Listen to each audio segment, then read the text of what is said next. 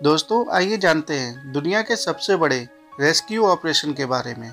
1990 में जब इराक ने कुवैत पर हमला किया, तब कुवैत में एक लाख सत्तर हज़ार भारतीयों को विदेश से निकालने के लिए भारत ने दुनिया का सबसे बड़ा रेस्क्यू ऑपरेशन चलाया था, जिसमें एयर इंडिया को इतने बड़े मिशन में अहम भूमिका निभाने के लिए एयर इंडिया का नाम Guinness Book of World Records में भी दर्ज किया गया है। भारत सरकार द्वारा इसके बाद भी बहुत से अहम रेस्क्यू ऑपरेशन करे गए हैं, क्योंकि हम भारतीय कभी अपनों को पीछे नहीं छोड़ते।